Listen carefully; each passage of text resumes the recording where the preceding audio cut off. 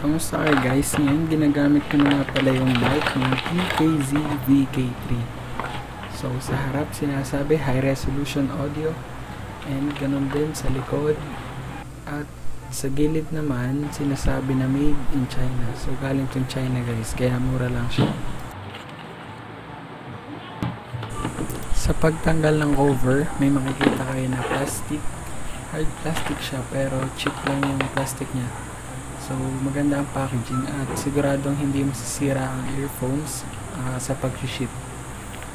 And sa loob naman, nakabalot yung earphones natin.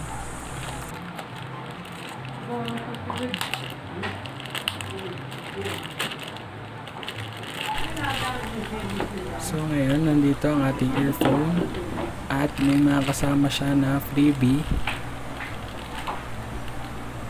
may kasama siyang clip para pwede natin i-clip sa ating mga damit yung mic and isang pair ng malaki na earbuds at isa ding pair ng maliit na earbuds. So first impression ko guys sa pinaka earphone is maganda ang quality kasi makapal yung cables niya.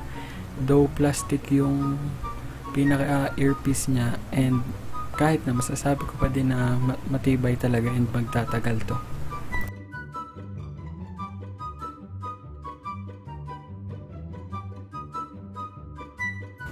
Maganda ang pagkakapak ng QKZ kasi pati yung 3.5mm audio connector niya is may cover pa din na plastic. So yun, siguro para hindi kalawangin. So sana nakikita nyo pero yan pinapakita ko na makapal yung cables niya. Though yung sa may pinaka uh, nag-split na yung cables and lumipis na yung cable niya nung nag-split na. Isa lang guys yung kasama niyang button para lang mag-answer ng calls. Yun sadly walang kasamang volume buttons and sa likod naman is mic.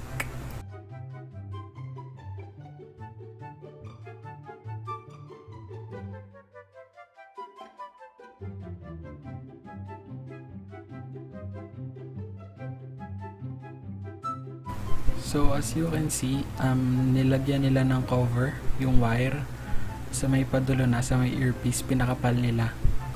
Kaya good thing yun para hindi agad masira.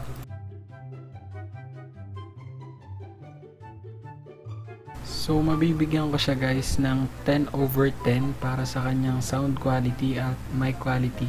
Maganda yung quality niya considering sa price. Parang presyong tig 500 na yung mic. Komportable isuot yung earphones and may kasama din siyang iba't ibang sizes ng silicone earbuds para sa iba't ibang size ng tenga. Hindi siya yung nalalaglag kasi over the ear siya. Sa noise cancellation naman niya, masasabi kong napakaganda kasi wala talaga akong marinig sa labas, 100%. So, maganda siya para sa mga laro na FPS games like PUBG and DROS. Ang masasabi ko lang is napakaganda ng earphones na to considering sa price niya and pati yung sound quality niya saktong-sakto. Pero kung gusto nyo ng mas um, mahal or mas magandang quality, may recommend ko tong Plexstone G20 napakaganda talaga niya pati yung base niya though mas mahal nga lang siya hanggang dito na lang po at sana po nagustuhan nyo po ang aking unboxing at review ko po sa item na ito. At mag iwan kayo ng like at mag subscribe na kayo. Salamat